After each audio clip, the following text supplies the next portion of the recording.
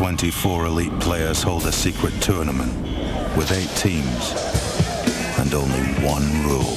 First goal wins.